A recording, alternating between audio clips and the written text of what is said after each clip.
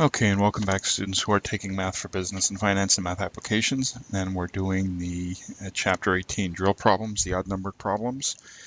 However, um, we're actually doing more than the odd numbered problems because of uh, the way the problems are set up in the book. So uh, let's, we did um, one through four yes uh, in the last video.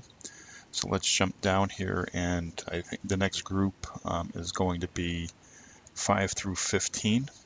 So let's see what we got going here. All right, it says from the following, 18-5 um, to 1812, calculate the cost of the ending inventory and cost of goods sold for LIFO, for that's problem 1813, FIFO 1814, the weighted average for 1815. Make sure to first find total cost to complete the table ending inventory is 49 units. Okay, so basically what we're doing here is we're just doing the math across. So for the beginning inventory, 5 times 2 is $10. 10 times 250 is 25. 12 times 3 is 36.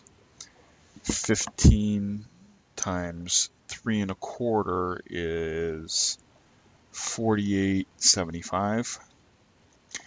18 times 4 is 72. 20 times 420 is 84. 32 times 440 is uh, 140, 80 and 16 times 48 is 7680. Let's see what I have on my next slide here. All right, yeah. Okay, so um, we need to know the total number of units. All right, so I'm going to add up all of these units. So my total units are 128 and my total dollar cost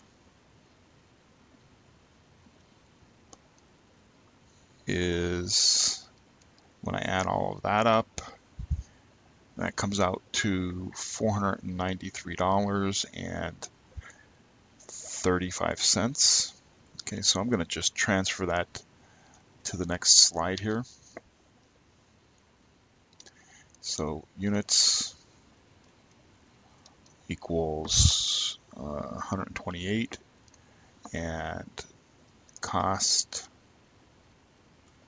is equal to 493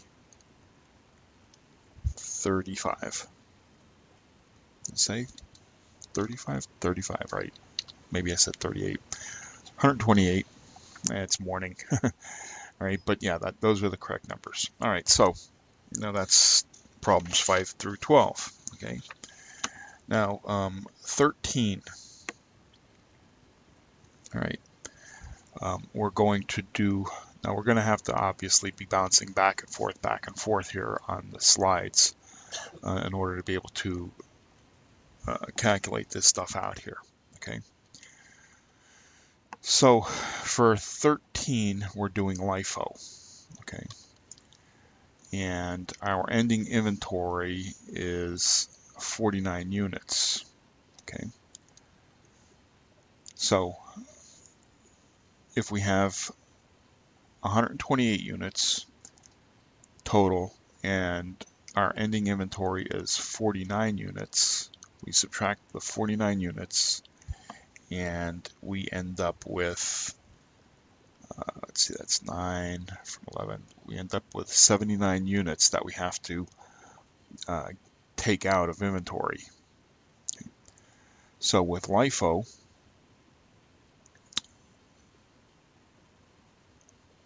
and I'm going to write down the side here. So if I have 79 units, okay, and with LIFO, it's last in, first out, so I'm going to take the last units out. So I'm going to take 16 away from in December. That gives me 363 left. Then November 10th, I have to take out 32. That gives me 31 left. For September 20th, I still have I have 20 that I can take out.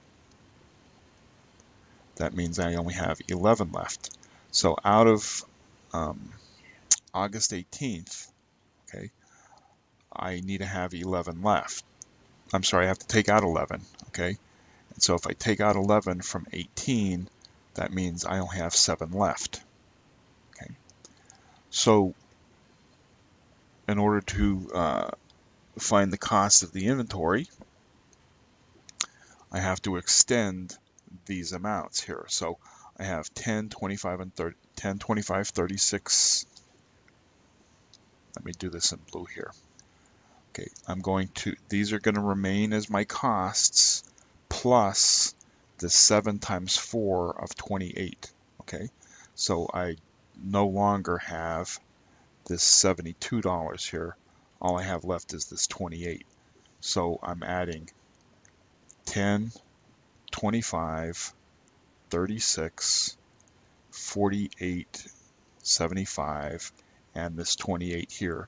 And that gives me a total cost of 147.75. Okay, so that's my cost of ending inventory. So my cost of ending inventory it, for LIFO is 147.75. And my cost of goods sold is simply my total dollar cost of 493.35 less that 147.75 and that gives me uh, let's see here 0 06 5 4 345 60 okay, as my cost of goods sold. All right and that's how simple it is in doing the LIFO. Now FIFO, I'm not going to repeat that because um, in doing LIFO, we're doing basically the same exact thing. Okay, I'm just going to erase the non-pertinent stuff here that we did for LIFO, but FIFO is um, basically just going in the opposite direction because why? We're taking first in, first out instead of last in, first out, but the process is still the same, okay? Um, we still know we have 128 units. Um, our ending inventory is 49 units, so we have to subtract out the 49 units. That means I have to take away 79 units out of my inventory. Remember, 128 units is what was available for sale. We still have 49 in our ending inventory. That means we sold 79. Right? So now we have to take the 79 out of our inventory. Right? So we start out here with 79. And since it's FIFO, we're going to deal with the first in, are the first ones we're going to take out remember back to the theory video about the the you know refrigerator. You know, I, I opened the refrigerator, there was nothing in there. Okay, I closed the refrigerator. I opened the refrigerator, I put five in, closed the refrigerator. I opened the refrigerator, I have to put in 10 more from April 10th, so I push the five to the back and put the 10 in the front.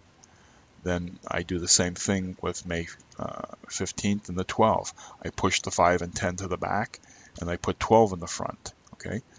And when I'm done, when I've come all the way down here to December 15th, and I've pushed everything else to the back, and I put 16 in the front, okay, and I close the refrigerator, right, that's my available for sale. You know, everything in that refrigerator is available for sale. So we have to now back out the 79 units. So being first in, first out, I'm reaching all the way around and I'm taking out what was first put into my inventory.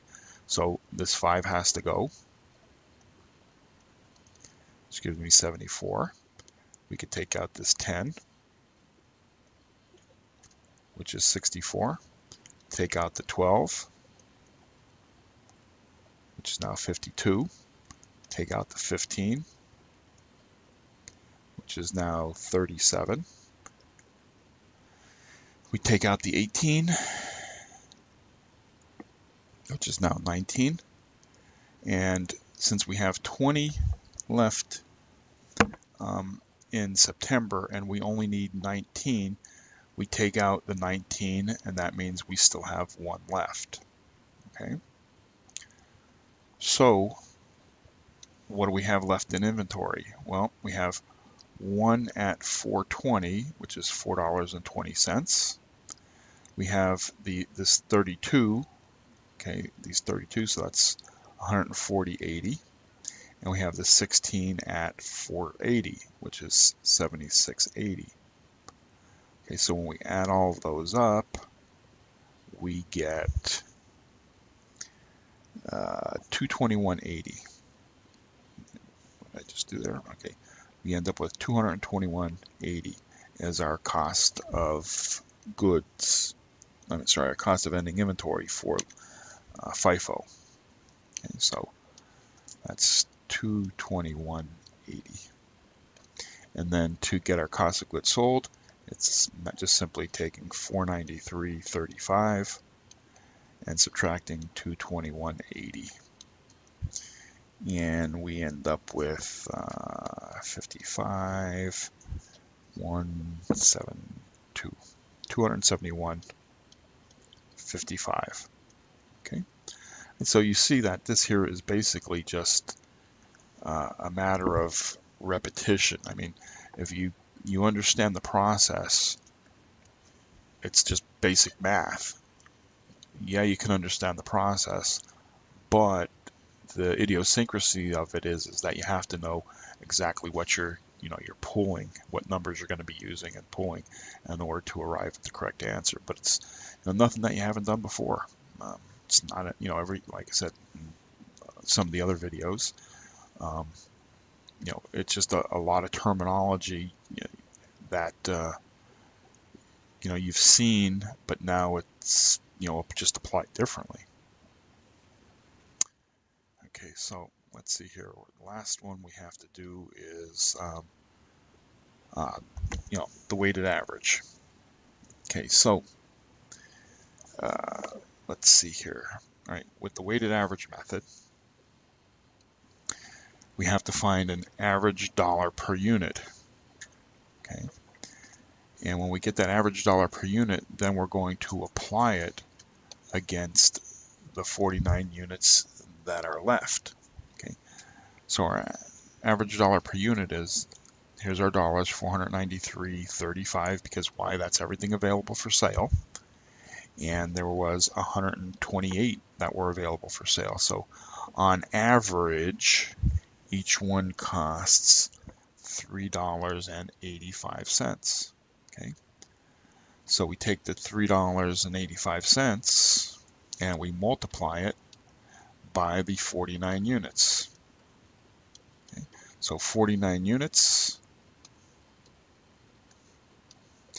that's 49 units times the $3.85 gives me, because that's what's left in inventory, the 49 units, gives me $188.65 okay, as my cost of my ending inventory. So that's 188.65. And then this is just simply the subtraction again, 493, 35 less 188.65 for which ends up being 304.70. So 304.70. Okay, and that's all it is. All right, um, for FIFO, LIFO, and weighted average.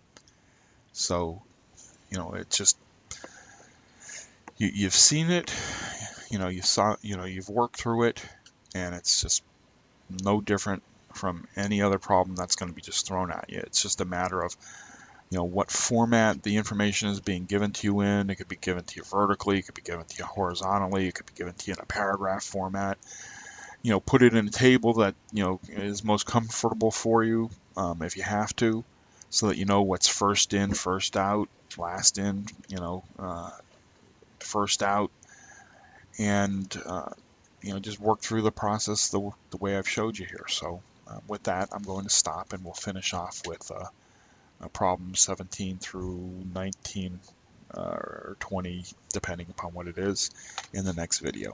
Okay, if you have any questions, rewatch the videos, and if you still have a question, you know, feel free to contact an instructor. Okay.